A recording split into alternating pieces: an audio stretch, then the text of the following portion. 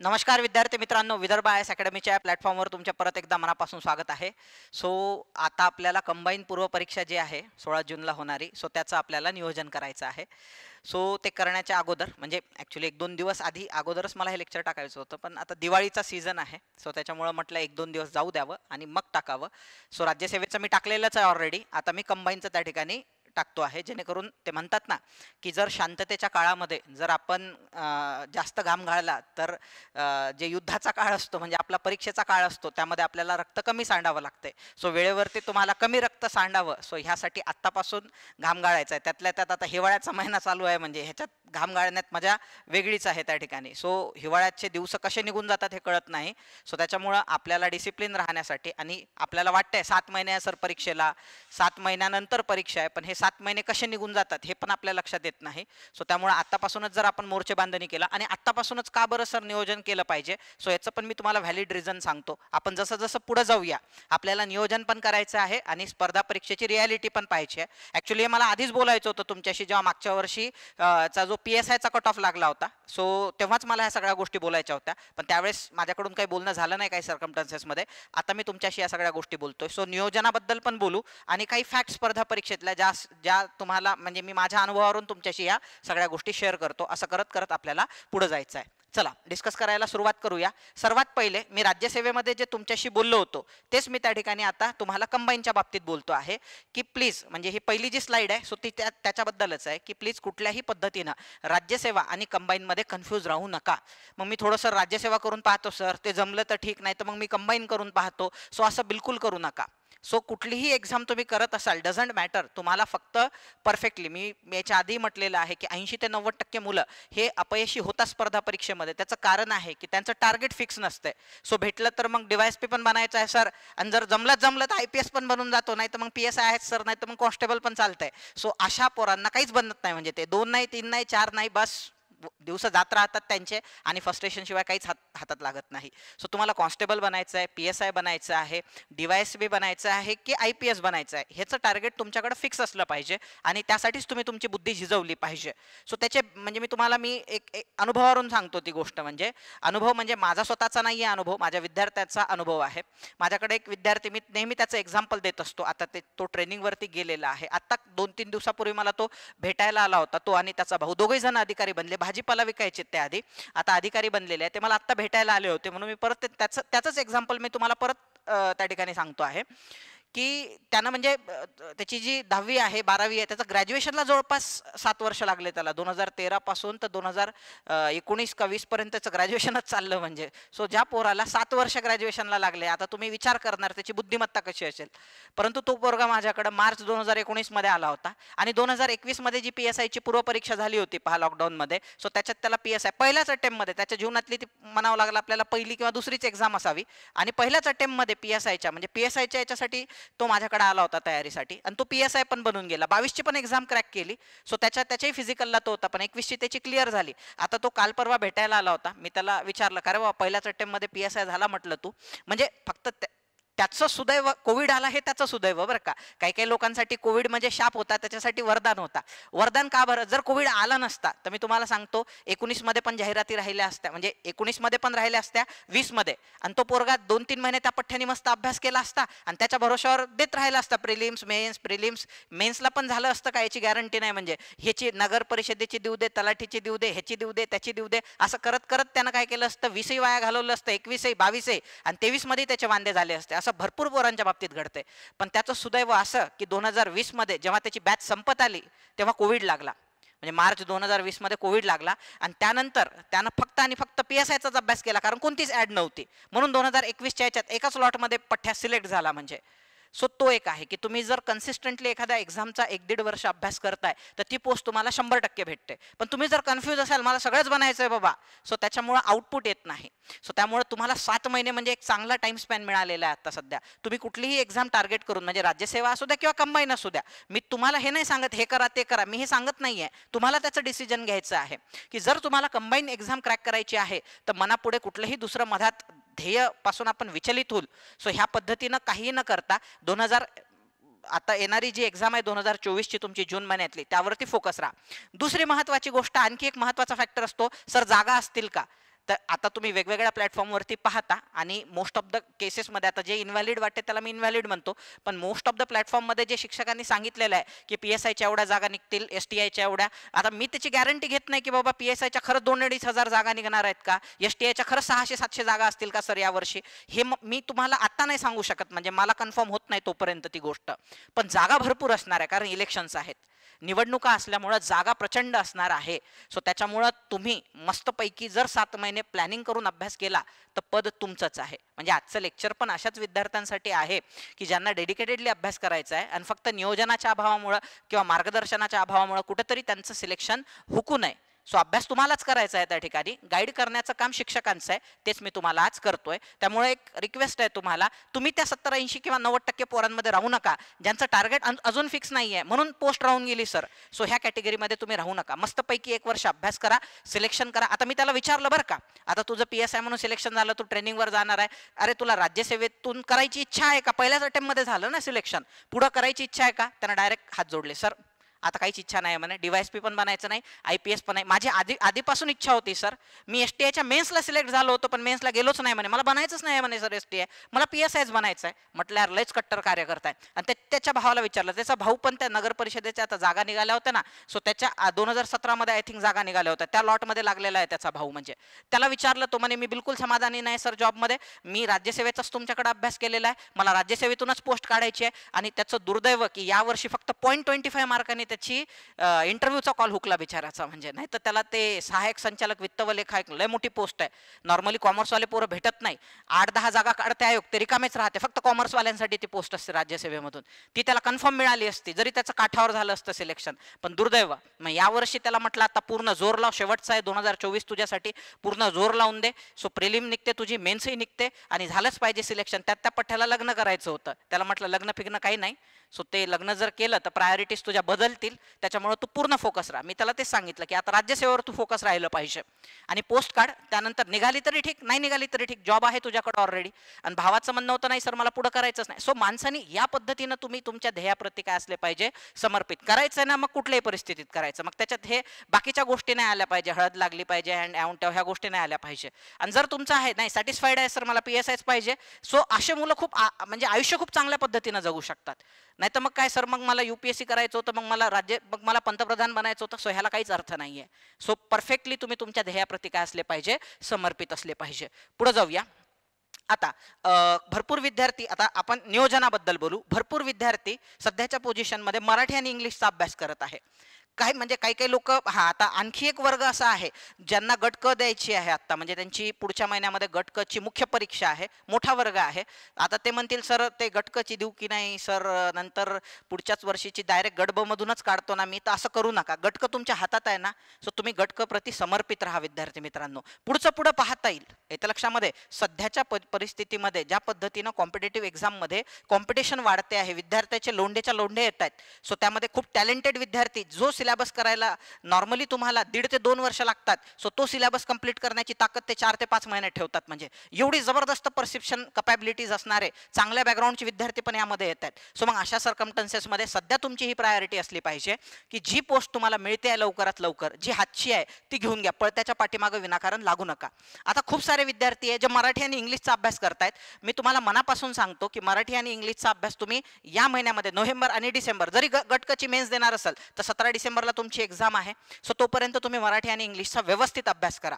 So तो सोडून देऊ नका. आणि जर समजा तुम्ही मराठी आणि इंग्लिश करतच नसाल मग आता सुरुवात करायची आहे सर तर माझं म्हणणं आहे फक्त प्रिलिम्सवर सात महिने तुम्ही फोकस राहा. कारण प्रिलिम्स नाही झाली मेन्सचा अभ्यास झालेला आहे. त्याला काय अर्थ नाही आहे आणि मेन्स करण्यासाठी तुम्हाला साडेतीन महिने मिळालेले आहे. येत्या लक्षामध्ये मेन्स करण्यासाठी तुम्ही तुम्हाला साडेतीन महिने मिळालेले आहे. आता जो जी एसचा पेपर आहे एक मराठी इंग्लिशचा पेपर वन जो आहे सो तो तुमचा साडेतीन महिन्यात प्रिपेअर होऊ शकतो. जर तुम्ही नव्याने सुरुवात करताय तर आता माझी इच्छा आहे की तुम्ही या सात महिन्यामध्ये पूर्णपणे प्रिलिम्सवरच फोकस राहा जेणेकरून प्रिलिम्स निघाली पाहिजे हेच तुमचं ध्येय असलं पाहिजे. साडेतीन महिन्यात मेन्स कशी कव्हर करायची याबद्दल गाईड करायलाच मी तुम्हाला. आता राहिला पोरं जे ऑलरेडी अभ्यास करतायत मराठी इंग्लिशचा जे ऑलरेडी करतायत नव्यानं नाही म्हणताय जे ऑलरेडी करतायत मराठी इंग्लिशचा सो त्यांनी सोडून देऊ नका अर्ध्यावरती. येत्या लक्षामध्ये सो त्यांनी या डिसेंबर महिन्यापर्यंत कंप्लीट करा आणि जानेवारीपासून म्हणजे याचा अर्थ असा नाही की तुम्हाला जीएसचा अभ्यास करायचा नाही आहे सो दिवसातला एक वेळ जो आहे तो मराठी इंग्लिशसाठी रिझर्व ठेवा आणि दुसरा वेळ जो आहे तो जीएस प्रती तुम्ही समर्पित ठेवा.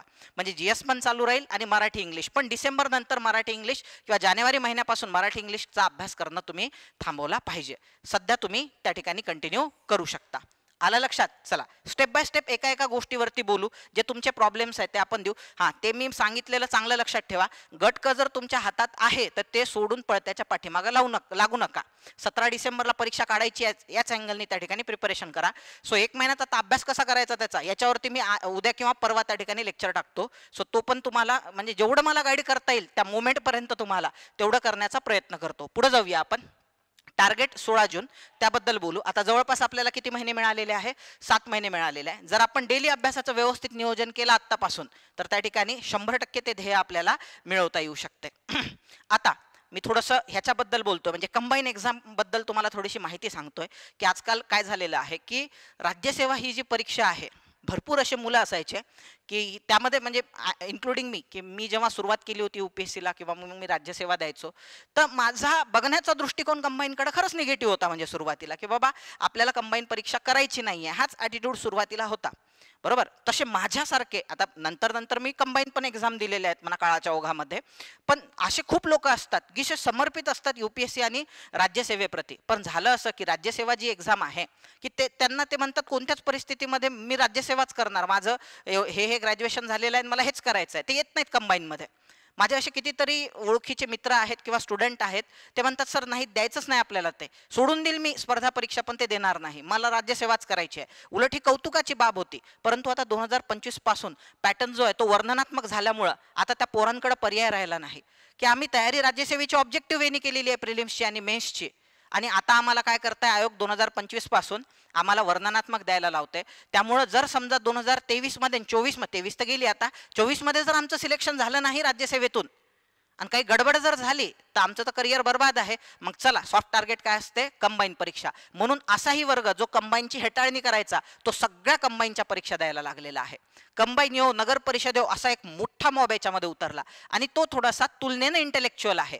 सो त्याच्यामुळे तुम्ही पहा.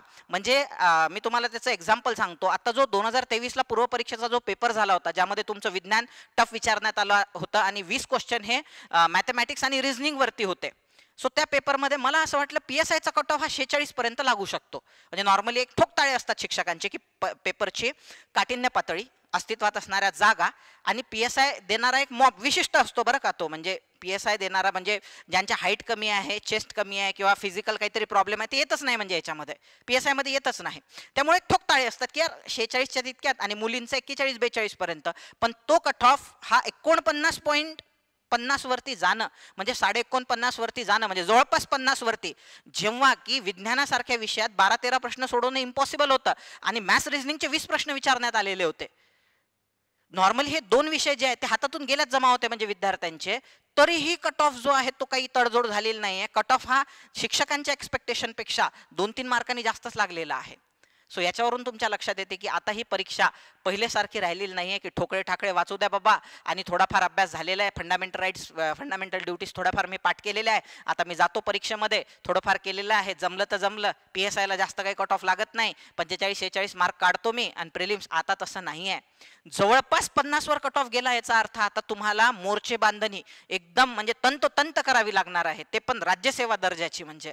जरी तुम्ही कंबाईन देत असले तरी. कारण तुमची परी थेट परीक्षा किंवा तुमचं जे थेट कॉम्पिटिशन आहे ते राज्यसेवेच्याच पोरांसोबत असल्यासारखं आहे. त्याचं आणखी मी बेस्ट एक्झाम्पल सांगतो तुम्हाला. माझा एक मित्र आहे जवळपास दहा ते बारा वर्षापासून तो स्पर्धा परीक्षा माझ्यासोबत सोबतच प्रिपरेशन करतो. मी दोन हजार एकोणीसला सोडलं प्रिपरेशन करणं. परंतु तो कंटिन्यू ठेवायचा. मी पूर्ण फुल टाईम टीचिंगमध्ये आलो. पण त्याचं कंटिन्यू होतं. तो आर एफ ओ झाला. पण तो आर एफ ओ झाल्यानंतर पण त्यांना आता दोन हजार तेवीसची पूर्व परीक्षा दिली. तुम्ही म्हणाल sir gazetted class two post? नाही म्हणे. त्याचं असं म्हणणं होतं जंगलात राहिल्यापेक्षा मला शहरात राहायचं आहे. एस टी आहे त्याच्यासाठी बेस्ट पोस्ट आहे. म्हणून त्यांना ती एक्झाम म्हणजे विचार करा तुम्हाला अशा पोरांसोबत कॉम्पिट करायची आहे की ज्यांनी राज्यसेवेच्या पाच पाच सहा सहा मेन्स दिलेले आहे R F O already post clear झालेली आहे. सो अशाही कॅटेगरीतले काही काही पोरं असतात जे कंबाईन देतात म्हणजे. सो अशा पोरांशी जर कॉम्पिट करायचं आहे तर आपला अभ्यास पण त्यांच्या दर्जाचा असला पाहिजे. आणि आता सध्या आपल्या हातामध्ये वेळ आहे त्यामुळे आपण पाहिजे ते करू शकतो. वेळेचं नियोजन करून. त्याच्यामुळं आतापासून जे विद्यार्थी प्रिपरेशन करतील तेच उद्या यशाचे शिलेदार बनणार आहे हे तुम्ही लक्षात घेतलं पाहिजे. पुढे जाऊया. पुढे जाऊया. आता आपल्याला विषय वाईज त्या ठिकाणी बोलायचं आहे. हे फार महत्त्वाचं आहे बरं का. म्हणजे आम्ही जेव्हा प्रिपरेशनला सुरुवात केली आम्हाला हे कोणी सांगणारं नव्हतं. ठरलेलं असायचं म्हणजे की बाबा आता समजा आपण राज्यसेवेचं म्हटलं समजा. राज्यसेवेचं पूर्वपरीक्षेचं असं असं करून जायचं. मेन्सचं मग सिलेबस दिसला पहिला विषय इतिहास आहे मग घेतला इतिहास विषय. इतिहासाचंच राज्यसेवेला चार महिने भेटायचे मेन्सला आणि इतिहासाचंच दीड दोन महिने निघून जायचे म्हणजे. जेव्हा की इतिहासाला फक्त साठ मार्कट वेटेज होता आणि तो सर्टन नव्हता सब्जेक्ट हे सांगणार कोण नव्हतं की बाळा H R H R D करावं त्याला दीडशे मार्काचं वेटेज आहे लवकर प्रिपरेशन होणारा विषय आहे इतिहासाला दोन महिने लागतात साठच मार्क मिळतात हा एक महिन्यात होतो किंवा दीड महिन्यात होतो दीडशे मार्क देतो. सांगणारं कोणीच नव्हतं. इथं तसं नाही आहे इथं आता तुम्ही जर व्यवस्थित हे अनुभवावरून जर ह्या गोष्टी शिकले तर तुम्हाला त्याचा नक्की परीक्षेत बेनिफिट होऊ शकतो. लक्षात ठेवा काही विषय जे आहे हे मुळातच सर्टन आहे. म्हणजे त्याचे मार्क्स तुम्हाला हमखास मिळू शकतात. ते विषय मर्यादित आहे लक्षात घ्या. ते विषय मर्यादित आहे आणि त्याच्यावरती येणारे प्रश्न पण मर्यादित असतात. उदाहरणार्थ आपण जर महाराष्ट्राचा भूगोल घेतला आहेच किती हो? त्याचे मोजून बारा तेरा चॅप्टर आहे. छोटे छोटे चॅप्टर आहेत त्याचे. आणि रट्टा मारण्यावरती भर द्यायचा आणि थोडंसं मॅपिंग करायचं आहे. तेच ते वारंवार वारंवार म्हणजे कोणकोणते धबधबे कोणत्या नदीवरती आहे कोणते पर्यटन स्थळ कुठे आहे एखादा पुण्यासारखा जिल्हा घेतात क्लॉकवाईज असणारे बाकीचे जिल्हे विचारतात डोंगरांचा क्रम लावा घाटांचा क्रम लावा खाड्यांचा क्रम लावा ठरलेला आहे पॅटर्न त्याच्यामध्ये. सो तुम्ही या विषयाचा अभ्यास असा केला पाहिजे सर्टन असल्यामुळं. कारण ह्याच्यावरती येणारे जे क्वेश्चन आहे ते पण सर्टन असतात. आणि या विषयाचा सिलेबस पण मर्यादित आहे. त्यामुळे हे तुम्हाला जास्तीत जास्त आउटपुट देणारे विषय आहे. सो यांना आपण सर्टन या कॅटेगरीत टाकू. ह्याच्यावरती आपण आपण स्टेप बाय स्टेप बोलूया. हमखास मार्क देणारे आहे. पण काही विषय हे माहिती असल्यापेक्षा कोणते विषय अनसर्टन आहे हे पण तुम्हाला माहीत असणं गरजेचं आहे. का बरं माहीत असणं गरजेचं आहे? याचा तुम्हाला म्हणजे खूप डिटेलमध्ये जाऊन अभ्यास करायचा आहे. तोडायचंच आहे म्हणजे. एक एकच पुस्तक आहे. म्हणजे आता सध्या जर समजा जर तुम्ही पुस्तक मला माहीत नाही सौदी सरांचं वापरत असाल तेही चांगलं आहे किंवा दीपस्तंभ अकॅडमीचं वापरत असाल तेही चांगलं आहे. किंवा एखाद्या अकॅडमीच्या तुम्ही नोट्स वापरत असाल तेही चांगलं आहे. पण ते परफेक्ट झालं पाहिजे. अर्थशास्त्राचं ठरलेलं आहे. राज्यशास्त्राचं पुस्तक पण ठरलेलं आहे. समजा लक्ष्मीकांत वा वाचत असाल किंवा रंजन कोळंबे सरांचं वाचत असाल इथं देसले सरांचं वाचत असाल किंवा किरण देसले सरांचं वाचत असाल दीपस्तंभ पब्लिकेशनचं किंवा तुम्ही इथं रंजन कोळंबे सरांचं एक एक पुस्तक ठरलेलं आहे. आणि तेवढंच परफेक्ट करायचं आहे. आणि त्याच्यातूनच तुमचे प्रश्न येणार आहे. त्यामुळे हे विषय काय आहे? सर्टन आहे. शॉर्ट बट स्वीट आहे. म्हणजे याचा अमर्याद नाही आहे इकडं तसं नाही आहे चालू घडामोडी सर्वात धोक्याचा विषय हा. काही काही पोरं रात्रंदिवस चालू घडामोडी करतात. आणि ते जर समजा पट्ट्यातलं आलं तर जमलं पण पट्ट्यातलं नाही आलं तर? पंधरापैकी पाचही सुटत नाहीत मग. पाचही सुटणं अवघड होऊन बसते मग सर अशा वेळेस ह्या अनसर्टन सब्जेक्टसाठी काय केलं पाहिजे? अनसर्टन सब्जेक्ट कोणकोणते आहेत? तुमचे सात विषयापैकी चालू घडामोडी आहे विज्ञान आहे इतिहास आहे. मॅथ्स रिझनिंग आपण याच्यात मधात का बरं टाकलेलं आहे मॅथ रिझनिंग सर्टन अनसर्टन ह्याच्यामध्ये मधात का टाकलंय? कारण हा विषय पूर्णपणे प्रॅक्टिसवर अवलंबून आहे तुमचा. याच्याबद्दल आपण वेगळं बोलू मॅथ्स रिझनिंगबद्दल मला चर्चा करायची आहे तुमच्याशी मॅथ्स रिझनिंगबद्दल हे विषय जाणून घ्या तुम्ही. चालू घडामोडी विज्ञान आणि इतिहास हे अनसर्टन आहे. म्हणजे याची गॅरंटी घेऊ शकत नाही. जसं मागच्या वर्षी विज्ञान त्यांनी एवढं अवघड टाकून दिलं की त्याच्यात धुरंधर असणारे विज्ञानात अभ्यास करणारे ज्यांचा सायन्स बॅकग्राऊंड आहे त्यांचेही मुश्किलनं तीन चार क्वेश्चन सुटले. ते पण त्यांना गॅरंटी नव्हती बरोबर येतील की नाही. दहा क्वेश्चन तर असे होते ज्याला हातच लावू शकत नव्हतो म्हणजे. मग अशा वेळेस अभ्यास केला काय नाही केला का ते सारख्याच पातळीवरती येऊन जाते आलं लक्षात? ह्या विषयाच्या बाबतीत तसं नाही आहे बरं का. म्हणजे देव भरोसे नाही जाऊ शकत तुम्ही. पण याच्यामध्ये हे विषय जे अनसर्टन आहे चालू घडामोडी इतिहास विज्ञान इतिहासाचा प्रॉब्लेम काय? इतिहास खूप अफाट आहे. सोर्सेस पण भरपूर आहेत त्याचे. म्हणजे कठारे सरांचं पुस्तक आहे गाठाळ सरांचं पुस्तक आहे समाजसुधारकांचे पुस्तक आहे याव आहे. त्याचं सिलेबस खूप जास्त आहे इतिहासाचा.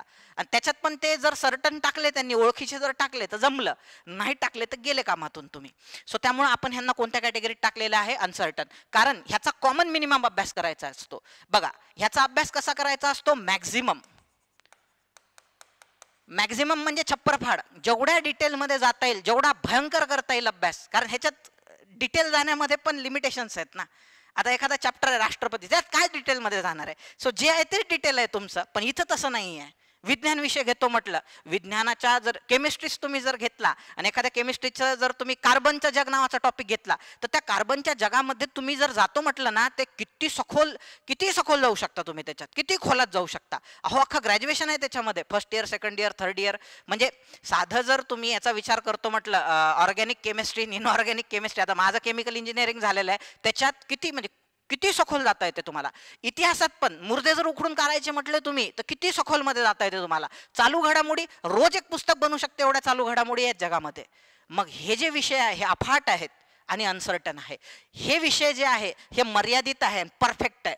म्हणून याचा कसा अभ्यास करायचा? छप्पर फाड मॅक्झिमम म्हणजे ह्याच्यात असा इंच टू इंच म्हणजे ते म्हणतो ना आपण ते सरकायचं नसते म्हणजे इंच बरंही सरकायचं नसते. सो इंट इंच टू इंच चालायचं. म्हणजे प्रत्येक फॅक्ट प्रत्येक गोष्ट तुम्हाला पाठच असली पाहिजे. इथं तसं नाही आहे इथं काय अभ्यास करायचा? कॉमन मिनिमम ह्याचा अभ्यास कस कसा करायचा? कॉमन मिनिमम म्हणजे याला आपण इंग्लिशमध्ये ऑप्टिमम म्हणतो. मॅक्झिमममध्ये आणि ऑप्टिमममध्ये फरक आहे.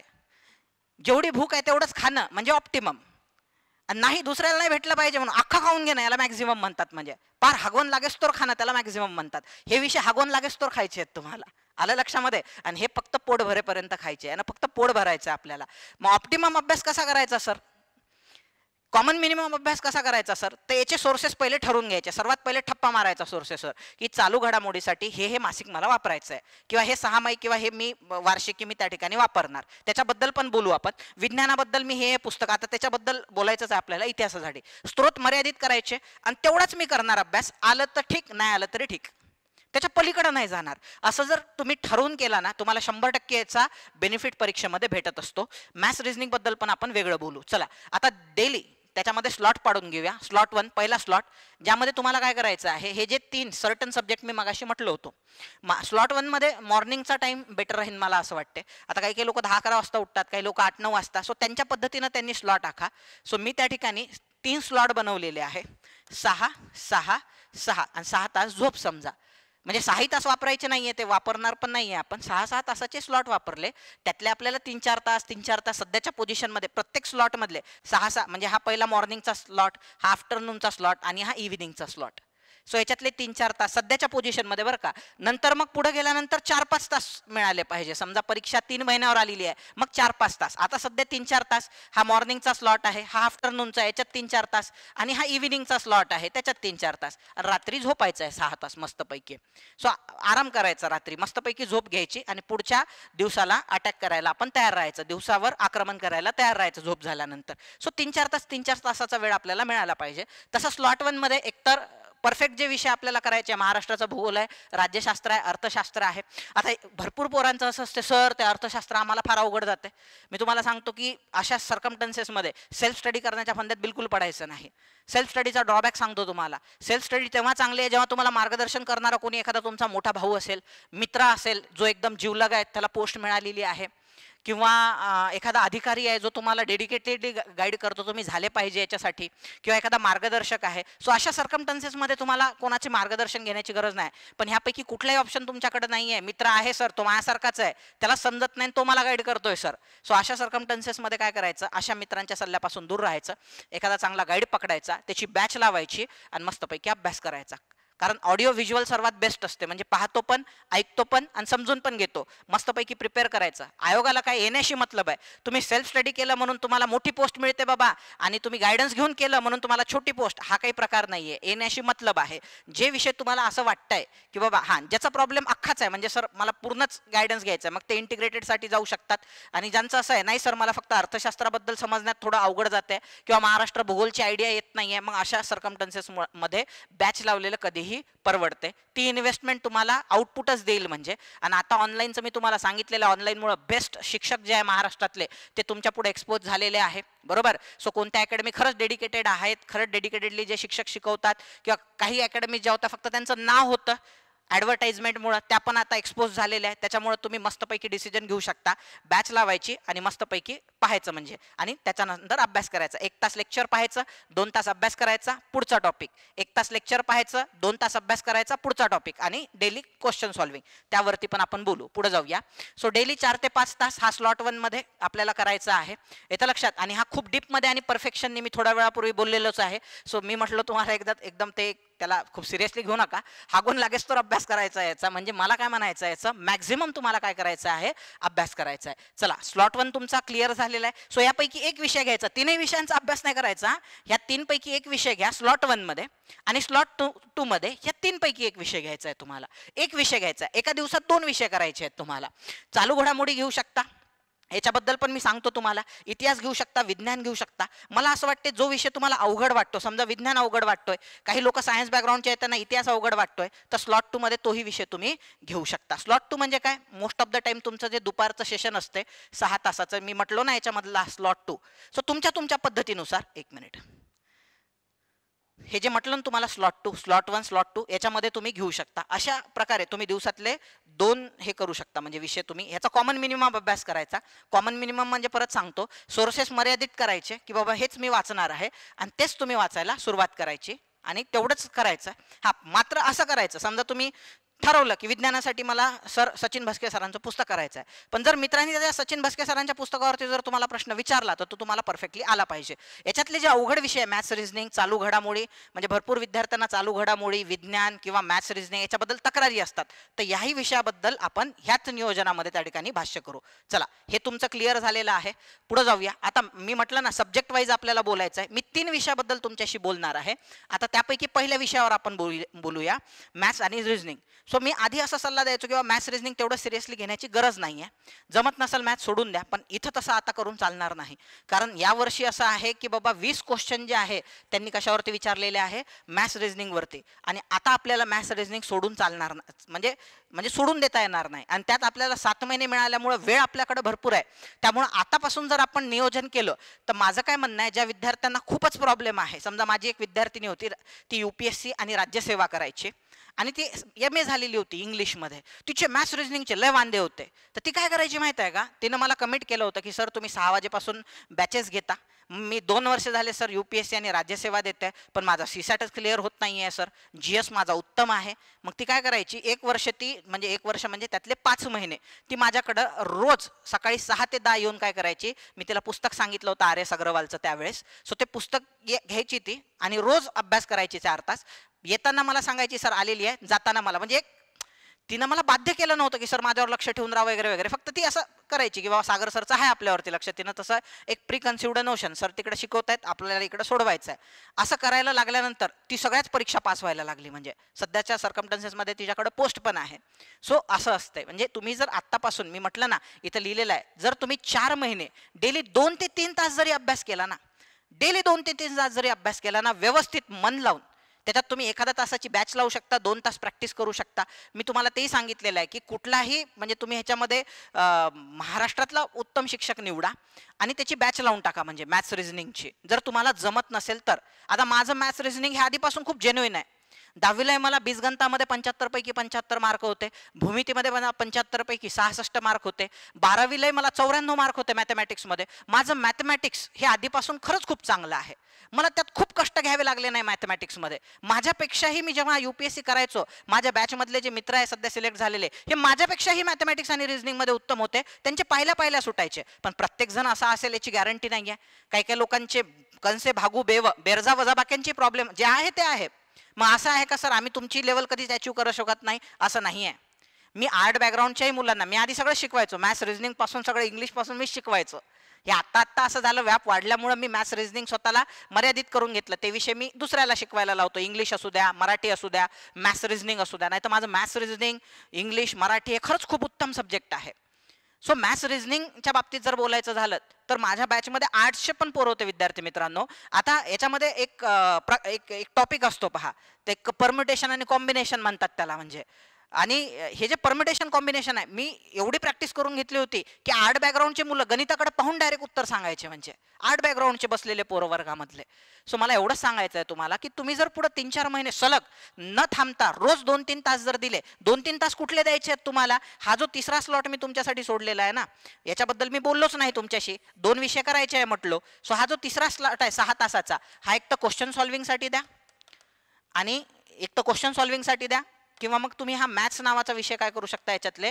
तीन एक तास युटिलाइज करून तुम्ही ह्या सहा तासामध्ये मॅथमॅटिक्सचा पण आत्तापासून थोडा थोडा अभ्यास करू शकता. म्हणजे ज्याचा प्रॉब्लेम नाही त्यांना करण्याची गरज नाही आहे ज्याचा प्रॉब्लेम आहे त्यांनी आत्तापासून मॅथ्स आणि रिझनिंग हे दोनही विषय तुम्ही आत्तापासून करायला सुरुवात करू करून टाका.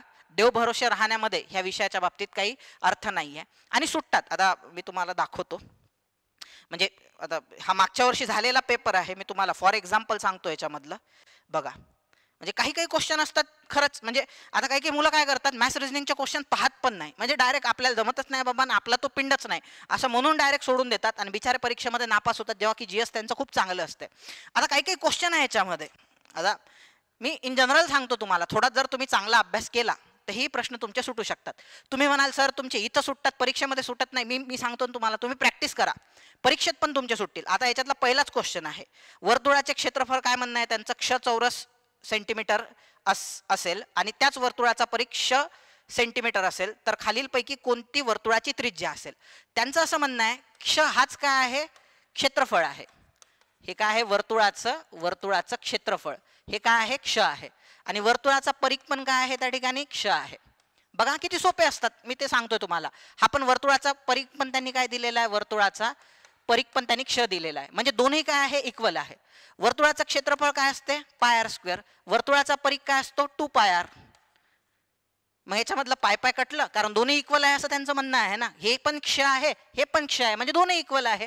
पाय पाय कटलं हे आर स्क्वेअर आहे. त्याच्यातला स्क्वेअर मधला हा स्क्वेअर गेला हाय गेलं. म्हणजे आर इज इक्वल टू काय? टू झालं. दोन सेंटीमीटर याचं याचं युनिट सेंटीमीटर स्क्वेअर दिलेलं आहे त्यांनी. ह्यांचं सेंटीमीटर दिलेलं आहे. म्हणजे उत्तर येणारं सेंटीमीटरमध्ये येईल. R is equal to two खतम गणित. आता हे गणित जे आहे ना म्हणजे माझ्यासारख्या व्यक्तीला मांडायची गरज नाही डायरेक्ट सोडून जातात म्हणजे हे गणित. हे तुम्ही पण करू शकता बरं का पोरांनो. किंवा जेव्हा तुम्ही जेन्युइनली याची प्रॅक्टिस कराल प्रॅक्टिसनंच येते. मलाही गणित आले दहावीला म्हणजे जेन्युइनली चांगला याचा अर्थ सागर सर आई बाबांच्या पोटातच तुमचे बाबा गणिताचे शिक्षक होते म्हणून तुम्हाला गणिताची बुद्धी आलेली आहे असा प्रकार नसतो. मी गणिताची भयंकर प्रॅक्टिस केलेली आहे. रद्दीच्या रद्दी भरवायचो म्हणजे. सो तशी तुम्ही प्रॅक्टिस करा. हे शंभर टक्के अचिवेबल आहे. आणि रोज तुम्हाला त्याच्यासाठी काय करायचं आहे दोन तीन चार तास तुम्हाला त्या ठिकाणी प्रॅक्टिस करायची आहे. म्हणजे असे सोपे सोपे असतात. आणखी एक गणित आहे. याच्या वर्तुळाच्या परिगावरच विचारलं. सहज मी पाहत होतो. हे पाहता पाहता म्हणजे आता यांनी काय म्हटलेलं आहे? एका वर्तुळाचे क्षेत्रफळ तीन सेंटीमीटर चार सेंटीमीटर बारा सेंटीमीटर त्रिज्या असणाऱ्या तीन वर्तुळाच्या क्षेत्रफळाच्या बेरजे इतके आहे. हे एका वर्तुळाचे क्षेत्रफळ म्हणजे एक वर्तुळ काय आहे? एक्स आणि दुसऱ्या तीन वर्तुळाच्या क्षेत्रफळा इतके आहे. तीन वर्तुळाचे क्षेत्रफळ म्हणजे आपण असं म्हणू समजा वर्तुळ नंबर वर्तुळ नंबर वनला आपण काय म्हणू समजा? A plus B plus C A वर्तुळाचं क्षेत्रफळ ए वर्तुळाचं क्षेत्रफळ किती असते? Pi r one square B वर्तुळाचं किती असेल? Pi r two square plus C वर्तुळाचं किती असेल? पायर थ्री स्क्वेअर ह्याच्यामध्ये पाय कॉमन आहे घेऊन घेतला. आर वन किती आहे ह्याच्यामध्ये दिलेलं? तीन दिलेलं आहे. सो तीन त्रिक किती होते नऊ. प्लस आर टू किती दिलेलं आहे? पाय कॉमन काढून घेतला. आर टू किती दिलेला आहे? चार. चार चौक सोळा. आणि आर थ्री किती दिलेला आहे? बारा. बारा म्हणजे बाराचा वर्ग एकशे चौवेचाळीस सो इज इक्वल टू पाय. आणि हे जर आपण कॅल्क्युलेट केलं पंचवीस हे नऊ सोळा पंचवीस आणि पंचवीस आणि हे एकशे चौवेचाळीस एकशे एकोणसत्तर. आता एक्स म्हणजे काय? आपलं वर्तुळ आहे. त्याचं पण फॉर्म्युला काय असणार आहे? पाय आर स्क्वेअर. पाय पाय कटलं आर स्क्वेअर आहे. दोन्हीकडं वर्गमूळ घेतलं तर आर इज इक्वल टू तेरा झालं उत्तर. सो ह्याला सोडवायला किती वेळ लागतो? सो असे जे सोपे सोपे गणित आहे पोरांना तुम्ही आरामात चटकवू शकता याच्यामध्ये. आरामात. ह्यांनी काय म्हटलं होतं सोपं? एक वर्तुळ आहे त्याचं तीन वर्तुळाच्या बरोबरीच क्षेत्रफळ आहे. मग हे तीन वर्तुळ आहे ए बी सी आणि हे आपलं एक्स नावाचं वर्तुळ आहे. मग त्याचं क्षेत्रफळाचे फॉर्म्युले मांडले मी. कॅल्क्युलेट केलं आर इज इक्वल टू तेरा आलं वर्गमूळ घेतल्यानंतर. सो यासाठी असे खूप कष्ट घेण्याची गरज नाही. फक्त तुम्हाला काय वर्तुळाचा फॉर्म्युला आणि कसं सोडवायचं कसं मांडायचं एवढंच माहिती पाहिजे. बाकी तर कॅल्क्युलेशनचा भाग आहे. तुम्ही काळाच्या ओघामध्ये याही दर्जाचे गणित आरामात सोडवू शकता. फक्त तुम्ही काय केली पाहिजे डेली याच्यासाठी? प्रॅक्टिस केली पाहिजे. जसं actually it is not my cup of tea म्हणजे हा माझा भाग नाही आहे शिकवण्याचा तुम्हाला. पण मला एवढंच सांगायचं आहे की खरंच काही प्रश्न खूप खूप सोप सोपे असतात. तुम्ही फक्त मॅथ्स रिनिंग जमत नाही असं वरून हात वर करता. आणखी एक महत्त्वाची गोष्ट मला सांगायची राहिली त्याच्यामध्ये. बघा आता तुम्ही काय करा की तुम्हाला सात महिने मिळालेले आहे ना येत्या चार महिन्यामध्ये तुम्ही पूर्ण सिलेबस मॅथ्स आणि रिजनिंगचा कंप्लीट करून घ्या. टार्गेट ठेवा म्हणजे चार महिन्यात माझं झालं पाहिजे एनी हाव म्हणजे शेवटच्या तीन महिन्यामध्ये तुम्ही फक्त आणि फक्त क्वेश्चन सॉल्विंग कराल. तीन महिन्यात जर फक्त क्वेश्चन सॉल्विंग की बा कोणकोणत्या पेपरमध्ये सगळे बँकिंग विंकिंगपासून सगळे पेपर सोडून टाका त्याच्यामध्ये मॅथ्स रिजनिंगचे त्यानंतर तुम्ही जे बनाल सातव्या महिन्यामध्ये ते अपराजित आणि अभेद्य असाल. मी सांगतो ज्या ज्या परीक्षांमध्ये मॅथ्स रिजनिंग आहे अशा भरपूर परीक्षा आहेत पहा. कंबाईन सोडून पण ज्याच्यामध्ये पंचवीस टक्के वेटेज मॅथ आणि रिजनिंगला असते काही काही परीक्षेत पन्नास टक्के वेटेज असते मॅथ्स आणि रिजनिंगला त्या सगळ्या परीक्षा तुम्ही पास होता पहा. सगळ्या. मग ही तुमच्या मनात भीतीच राहणार नाही सरकारी नोकर बनतो की नाही म्हणून मी. सो तुमच्यासाठी बायहात का खेळून जाईल पाहतो. पण त्यासाठी तुम्हाला आत्तापासून थोडं थोडं झिजावं लागणार म्हणजे डेली झिजावं लागणार. आणि हां याच्यामध्ये कधी लक्षात ठेवा मॅथ्स रिजनिंगचा अभ्यास करताना याच्यामध्ये असे काही टॉपिक आहे ज्याच्यावरती नेहमी प्रश्न विचारतात. रेल्वेचे गणित आहे त्याच्यानंतर जहाजेवरचे गणित असतात पहा. त्याच्यानंतर नफा तोट्यावरती गणित असतात. त्याच्यानंतर सिंपल इंटरेस्ट कंपाऊंड इंटरेस्ट सरळ व्याज चक्रवाढ व्याज म्हणतो आपण त्याला. असे टॉपिक परफेक्टच करून ठेवायचे. कारण त्याच्यावरती त्याच्याशिवाय पेपरच बनत नाहीत तुमचे. सो असे टॉपिक परफेक्टच करून जायचे म्हणजे. आणि रिझनिंगच्या बाबतीत तसंच आहे. सिलॉलिझम नावाचा टॉपिक आहे. दिशा ज्ञान नावाचा टॉपिक आहे. आता तुम्ही जे टॉपिक कधीच विचारत नाही परीक्षेला ते जर करत बसले तर तुम्ही वेळ घालवाल म्हणजे विनाकारण. जे परीक्षेत परफेक्ट विचारतात आत्तापर्यंत फ्रिक्वेन्सी खूप जास्त आहे ते टॉपिक तुम्ही मस्तपैकी परफेक्ट करा. म्हणजे त्याच्यावर कसंही गणित आलं आडवं तिडवं तर तुम्हाला सोडवता आलं पाहिजे. पुढे जाऊया आपण. पहा. चला आता आपण मॅथ्स रिझनिंगबद्दल बोललो आता विज्ञानबद्दल पण बोलून घेऊ. मला असं वाटते सोर्सेस लिमिटेड ठेवत असताना ते पण मी तुम्हाला सांगतो पा सोर्सेस लिमिटेड ठेवत असताना आठवी नववी दहावी आणि सचिन भास्के सरांचं बुक जे खरंच खूप चांगलं लिहिलेलं आहे दोन्ही पार्ट त्यांच्या आता पार्ट वन पार्ट टू रसायनशास्त्र भौतिकशास्त्र एकात टाकलं त्यांनी जीवशास्त्राचं वेगळं काढलं. गुड चांगली गोष्ट आहे. हे ते त्यांचे जे दोन भाग आहे आणि आठवी नववी दहावी आहे. Most of the Sachin Bhaske सरांच्या पुस्तकामधला मोस्ट ऑफ द पोर्शन जो आहे तो आठवी नववी दहावीचाच आहे. किंवा तुमच्याकडे दुसऱ्या नोट्स असतील असं एकदा मर्यादित करून टाका. विज्ञानाविषय असा आहे की जेवढं तुम्ही त्याला इंटरेस्टिंग बनवाल तुम्ही त्याला जेवढं इंटरेस्टिंग बनवाल तेवढा तो इंटरेस्टिंग बनतो आणि मग तुम्हाला तो हार्ड वाटत नाही. फॉर एक्झाम्पल माझ्या बाबतीत काय व्हायचं माझं दहावीनंतर बायोलॉजीचा कॉन्टॅक्ट माझा तुटला. अकरावीला माझं व्होकेशनल सायन्स होतं त्यामुळे मला कम्प्युटर सायन्स मला कम्प्युटर सायन्सचं पण काही येत नव्हतं मला बारावीला असताना जास्त काही. कम्प्युटर सुरू करायचं आणि बंद करायचं एवढंच कळायचं म्हणजे फ्रँकली स्पीकिंग त्यामुळे माझा बायोलॉजीचा कॉन्टॅक्ट तुटला. माझा बायोलॉजी हा सब्जेक्टच नव्हता अकरावी बारावीला. त्यामुळे माझे बायोलॉजीचे खूपच वांदे होते. आणि एक वर्षी असं झालं होतं राज्यसेवेला तेवीस क्वेश्चन विज्ञानावर विचारले. त्यापैकी सतरा क्वेश्चन बायोलॉजीवर होते. म्हटलं यार हे काही बरोबर नाही आहे. कसं बसं बॉर्डरवर यावर्षी पास झालो आपण पण जर असेच वांदे राहिले बायोलॉजीचे म्हणून मी काय केलं माझी एक मी एक मैत्रीण पकडली तिचं हे झालेलं होतं एम बी बी एस झालेलं होतं ती मला शिकवायची म्हणजे. आणि मी ठरवलं होतं की दिवसातलं मी जास्त वेळ काही अभ्यास करणार नाही आपल्याला बायोलॉजी काही जमत नाही. ती जेवढं सांगेल तेवढंच करायचं. एक कॉमन मी सतरा प्रश्न जर आले उद्या बायोलॉजीवर समजा तर आपले किंवा सात आठ सुटले पाहिजे. ती सांगणारी पण खूप छान होती म्हणजे ती काय करायची असं फोड करून सांगायची बघ जिम्नोस्पर्म मग जिम्नो म्हणजे काय? नग्न असते. स्पर्म म्हणजे काय? बीज असते. आपल्याला तेवढंच कळायचं. स्पर्म म्हणजे बीज असते बाबा. जिम्नो माहीतच नसायचं. मग लक्षात ठेवायचं. बरं. जिम्नो स्पर्म म्हणजे काय असते? नग्न बीज. म्हणजे असे जिम्नोस्पर्म आणि अँजिओस्पर्म असं ती एक एक करून काय करायची त्याच्यामध्ये? समजावून सांगायची की अँजिओस्पर्म म्हणजे काय? जिम्नोस्पर्म म्हणजे काय? किंवा आणखी अँड्रोजेन आहे. किंवा असे वेगवेगळे जे असतात म्हणजे याचे नावं किंवा एखादं प्लॅटी हेल्मेंथिस आहे मग प्लॅटी म्हणजे प्लेटसारखे हेल्मेंथिस म्हणजे क्रुमी मग प्लेटसारखे क्रुमी असं ते ॲस्कॅलमेंथिस म्हणजे गोल असतात बाबा क्रुमी हेल्मेंथिस म्हणजे बघ मगाशी हेल्मेंथिस होता आता आहे. सो असं जर करून तुम्ही एक खेळीमेळीच्या वातावरणामध्ये जर त्याचा अभ्यास केला सर तो एकदम सोपं वाटायला लागते विज्ञानाचे दोन पार्ट पार्ट करायचे त्या ठिकाणी. एक कन्सेप्च्युअल पार्ट करायचा आणि दुसरा काय करायचा? फॅक्च्युअल पोर्शन बनवायचा. सो कन्सेप्च्युअल पोर्शन हा समजून उमजून करण्यावरती भर द्यायचा. आणि जो फॅक्च्युअल पोर्शन आहे तो त्या ठिकाणी रट्टा मारण्यावरती भर द्यायचा. फॉर एक्झाम्पल कोणत्या जीवनसत्वाच्या अभावामुळे कोणत्या जीवनसत्वाला टेक्निकल नावं कोणकोणते आहे समजा ए आहे तर रेटिनॉल म्हणतात. मग बी कॉम्प्लेक्स आहे त्यामध्ये बी वन बी टू मग कोणाकोणाला काय काय म्हणतात त्यामुळे कोणते आजार होतात त्यांच्या अभावामुळे अधिक्यामुळे कोणते आजार होतात वेगवेगळे रोग आहे विषाणूमुळे होणारे रोग वगैरे वगैरे. काही कन्सेप्च्युअल पार्ट असतं. फॉर एक्झाम्पल कॅपिलरी ॲक्शन नावाचा फिनॉमिना आहे सरफेस टेन्शन नावाचा फिनॉमिना आहे. ते कन्सेप्च्युअली प्रिपेअर करायचे. किंवा जे केमिस्ट्रीमध्ये पण असणारे काही टॉपिक कन्सेप्च्युअल आहे फिजिक्समध्ये असणारे असं त्याच्यात दोन भागात डिवाईड करायचं. याचा अभ्यास समजून उमजून करायचा आणि याचा अभ्यास काय करायचा? फॅक्च्युअल डाटा रट्टा मारण्यावरती त्या ठिकाणी भर द्यायचा. येत्या लक्षामध्ये? सो अशा पद्धतीनं ह्याचा काय करायचा? अभ्यास करायचा. हां हे कोणासाठी सांगतोय मी? ज्यांचे विज्ञानाचे जेन्युइनली वांदे आहेत म्हणजे. विज्ञान जमत जसं मॅथ्स रिजनिंग सारखा एक मोठा वर्ग आहे ज्याला मॅथ्स रिजनिंगची खूप भीती वाटते. तसा एक विज्ञानवाला पण एक मोठा वर्ग आहे. सो त्यांनी असं जर एकदम समजून उमजून इंटरेस्टिंग बनवत बनवत जर त्याचं प्रिपरेशन केलं तर विज्ञान विषय आरामात तुटण्यासारखा आहे. आणि हाही विषय असा आहे ज्याचा कॉमन मिनिमम अभ्यास करायचा आहे. मर्यादित करायचे आहे सोर्स आणि त्यालाच वारंवार. म्हणजे उद्या असं नाही झालं पाहिजे की यार सचिन बसके सरांच्या पुस्तकातून प्रश्न आला आणि मला तो जमलाच नाही. बारीकात बारीक त्याचं मायक्रो अनालिसिस झालंच पाहिजे या अँगलने अभ्यास करायचा विज्ञान या विषयाचा. चालू घडामोडीचा अभ्यास करताना अठरा महिने आधी मी एक वर्ष सांगायचो आता अठरा महिने अठरा महिन्यापर्यंत चालू घडामोडी आजकाल विचारतात पहा. त्यासाठी एक मासिक ठरवून घ्यायचं आणि तेच परफेक्ट करायचं. सध्या आता सुरुवातीचे तुमचे पाच महिने जे आहे ते संडे टू संडे तरी केलं तरी चालेल. म्हणजे संडे एक ठरवून द्यायचा. म्हणजे तुम्ही सोमवार मंगळवार बुधवार गुरुवार शुक्रवार शनिवार डेडिकेटेडली अभ्यास करता. एक रविवार रिलॅक्स राहायचा. त्या रविवारी तुम्ही म्हणजे एखादा मूवीज वगैरे पाहायचा असला तुम्हाला कॉमेडी शो पाहायचा असला फक्त गंभरे पिक्चर नाही पाहायचे. ज्यामध्ये पुढचा आठवडा तुम्ही गममध्ये चालल्या जाल जुन्या वगैरे अकाउंट तुम्हाला आठवतील वगैरे वगैरे असे उद्योग नाही करायचे.